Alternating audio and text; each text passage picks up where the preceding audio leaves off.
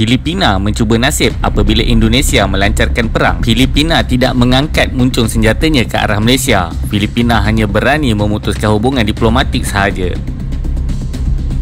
Menjelang hujung 60-an, askar-askar Inggeris yang berada di Sarawak dan Sabah juga sudah beransur kurang dan negara baru Malaysia mula sedang bergelut dengan ancaman komunis termasuk di kawasan sempadan Kalimantan.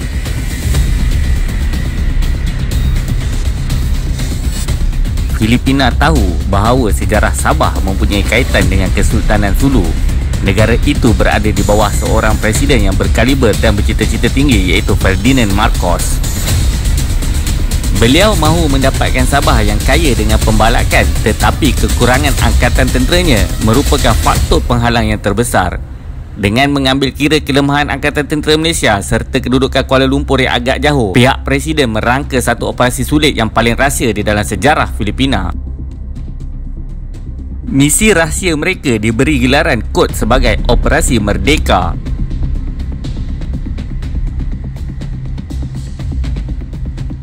Marcos kemudian memujuk seramai 300 pemuda daripada anak bangsa Melayu Moro untuk dilatih sebagai pasukan khas dan akan melaksanakan tugas-tugas sabotan di Sabah termasuk dengan tujuan menyemarakkan api permusuhan di antara rakyat Sabah ke atas kerajaan persekutuan di Kuala Lumpur.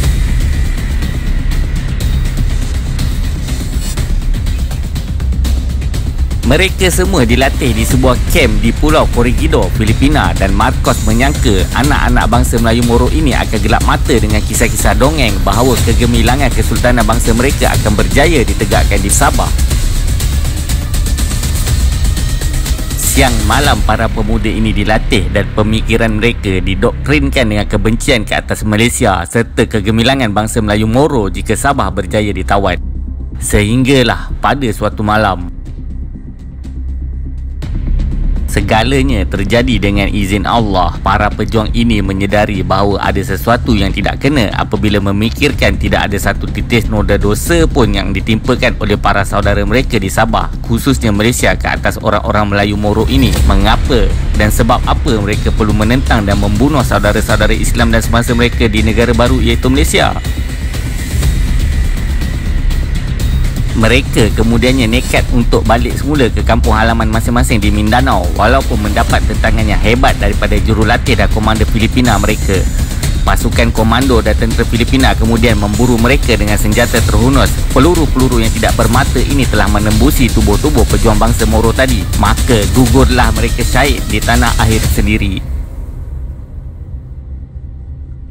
Kebetulan hujan lebat yang turun pada malam itu telah membawa aliran darah yang tersimbah untuk mencuci bumi dan menghilangkan tangisan air mata daripada para pejuang yang tidak putus-putus menyebut kalimah La ilaha illallah di saat menahan perit penderitaan dan kesakitan.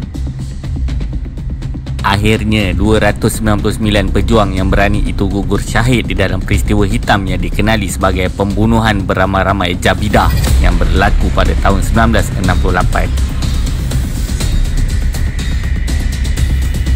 Musuh-musuh dan para pembunuh ini fikir mereka mungkin mampu menyembunyikan dosa hitam mereka tetapi mereka tidak menyedari seorang daripada mangsa pembunuhan beramai-ramai ini telah berjaya menyelamatkan diri dan di dalam keadaan cedera parah untuk balik semula ke kampung halamannya.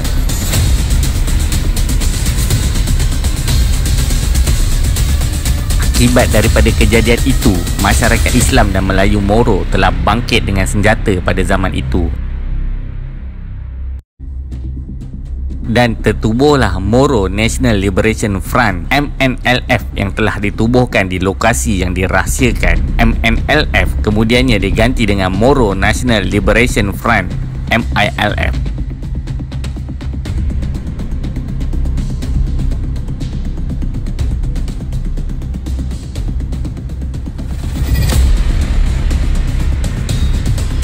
Tahun 1981, Perdana Menteri Malaysia keempat mula berkuasa sebagai Perdana Menteri Malaysia menggantikan Allahyarham Tun Husin yang telah meletak jawatan.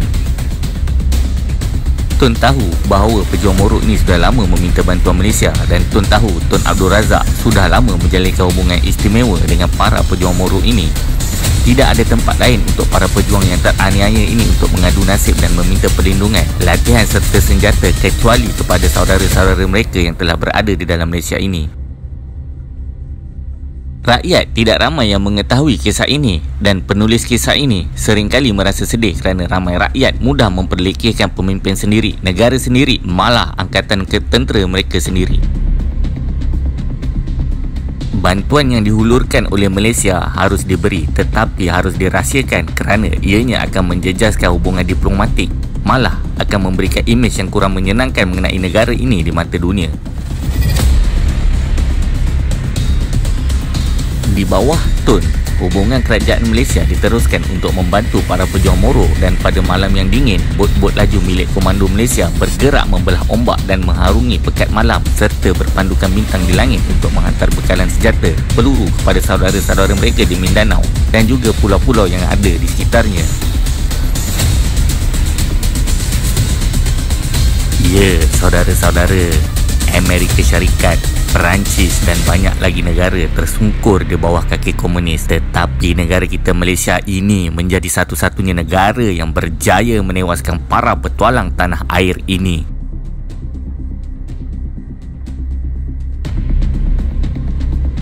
Anak isteri tidak tahu ke mana suami-suami mereka bermalam.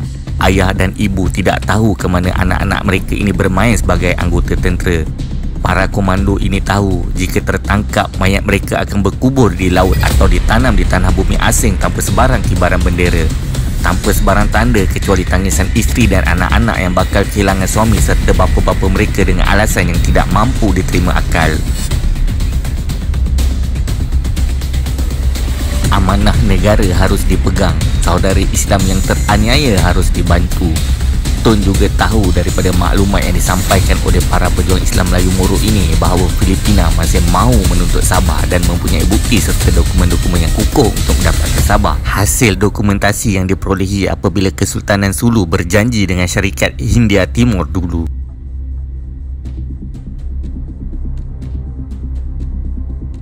Tun kemudiannya memanggil komander-komander komando ini untuk memberikan amanat penting demi untuk menyelamatkan negara daripada terjebak ke dalam satu kancah yang akan memberikan impak besar kepada penubuhan Malaysia. Komando-komando ini telah diberi arahan untuk berjumpa dengan kontak dan membawa keluar dokumen tersebut dengan selamat maka pasukan komando menghantar tujuh orang anggota yang terbaik pada zaman itu ke Manila untuk membuat hubungan dan menyelamatkan dokumen tersebut. Kehadiran komando ini dibuat melalui jalan laut dengan bantuan para pejuang Moro kerana kedatangan secara rasmi sebagai pelawat akan mendedahkan komplot tersebut. Dokumen telah bertukar tangan tetapi tanpa disedari malangnya pasukan khas Filipina sebenarnya sudah mula menghidu rancangan rahsia ini. Para komando kita terperangkap tujuh lelaki Melayu yang gagah berani terpaksa melawan puluhan mungkin ratusan komando dan para pengawal istana presiden peluru berganti. Tembakan bertalu-talu dilepaskan jerit pekik dan kekalutan telah berlaku. Trafik daripada saluran keselamatan tentera Filipina tiba-tiba menjadi kelam kabut dan penuh dengan aktiviti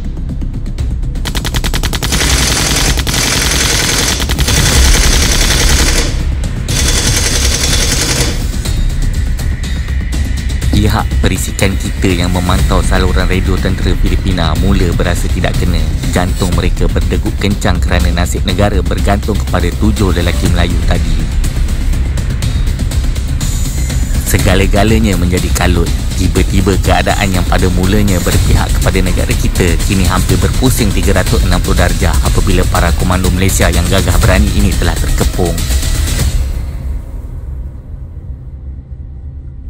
Masa hadapan negara kita benar-benar tergantung di dalam keadaan yang sangat bahaya dan kritikal jika para komando ini tertangkap manakala bekalan peluru yang sangat sedikit tidak memungkinkan para komando Melayu ini membuat perhitungan yang lebih jauh.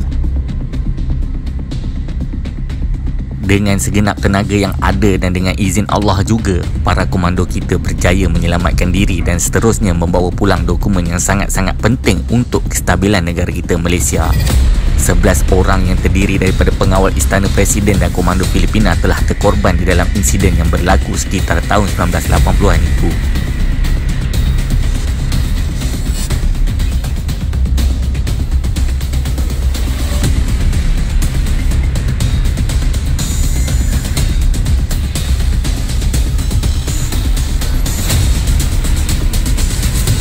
Kejayaan ini menyebabkan Malaysia berjaya menyelamatkan diri daripada malu besar dan ianya disambut secara kecil-kecilan di kalangan orang-orang kepercayaan pihak tentera dan juga Perdana Menteri.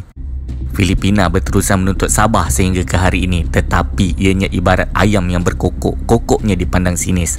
Sehingga sekarang negara itu tetap menjalankan perang sarafnya tetapi ini episod yang lain akan diceritakan kemudian.